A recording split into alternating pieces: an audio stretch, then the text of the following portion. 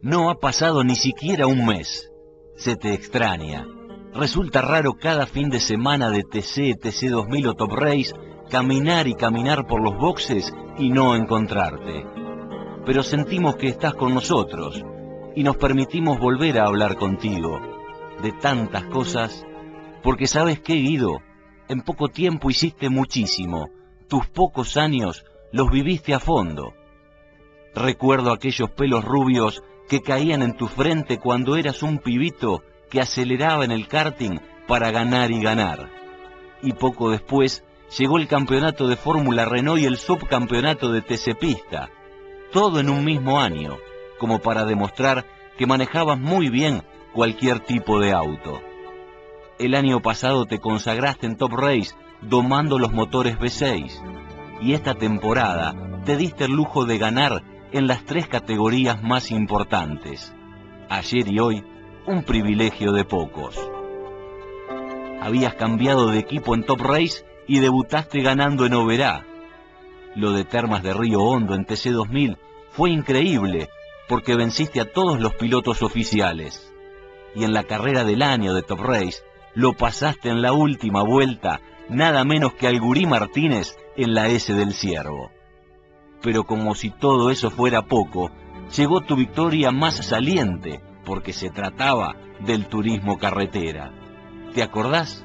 Escucha. El auto verde de Guido Falaschi camina a la victoria, pero va a tener que esperarse porque lo tiene prendido a la cola. A Mauro Lombardo de gran tarea. Va a ser tercero, estará en el podio. El local, Ponce. Exigidos en el frenaje van Pablo en la curva 1 ya.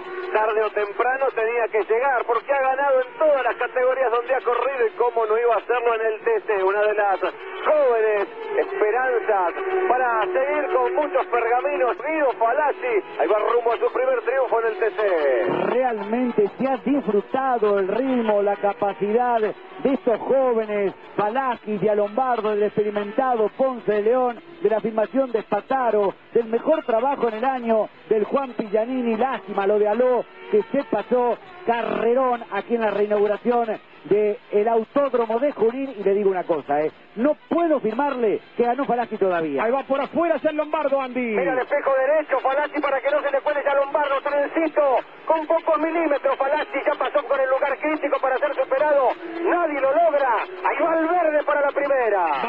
Final, recta opuesta, así se va bien adentro para evitar que se tiente ya Lombardo, va camino a la victoria, el auto verde, va a ser para Ford nomás, asoma en la recta principal en Junín en la inauguración va a ganar Falaschi ganó ganó Falaschi ganó por primera vez en el turismo carretera ni Fontana ni Silva fue el joven Guido Falaschi quien le entrega la alegría a la gente del Haas del regreso a la victoria qué contento estabas Felicitaciones, Guido. Felicitaciones, Guido, querido. ¿eh?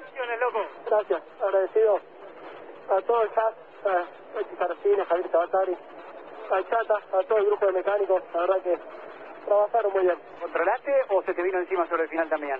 No, obviamente faltaban tres vueltas, cuatro.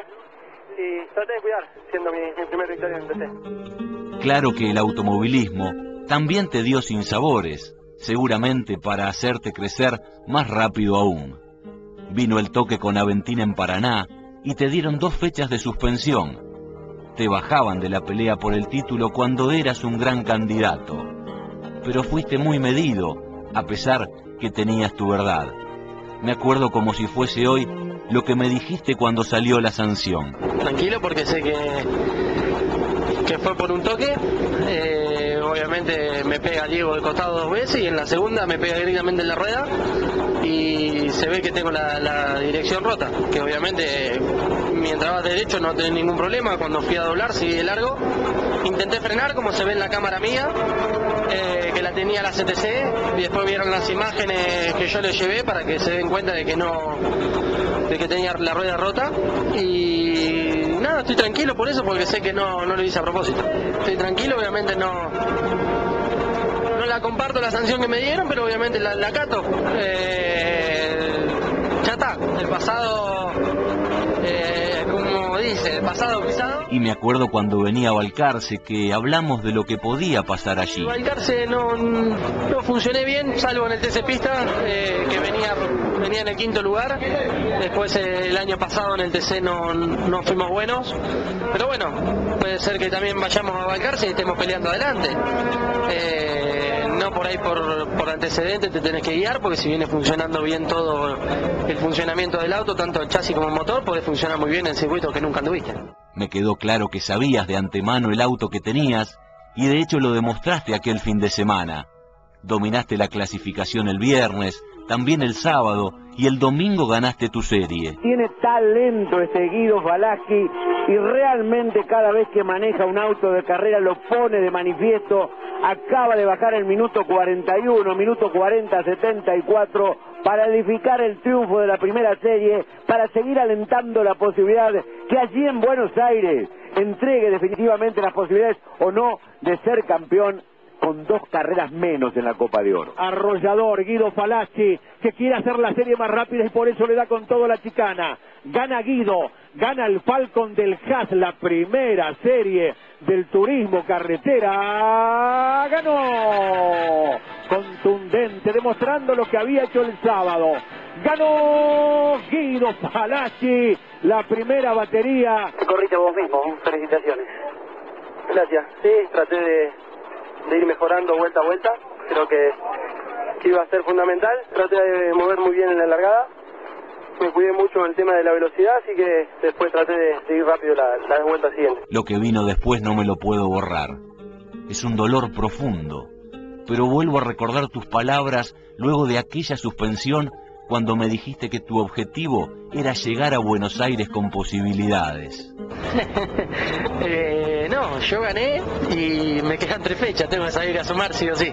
Anímicamente estoy bárbaro. La idea es sumar buenos puntos en estas dos fechas y llegar a Buenos Aires con, por, el, por el de tener chances. Qué lindo escuchar de nuevo esa risa y darse cuenta que eras fresco, puro y que tu ambición se hizo realidad porque a pesar de correr dos fechas menos, llegaste nomás a Buenos Aires con chances de ser campeón. Pero no podrá ser. Te cambiaste justo de categoría.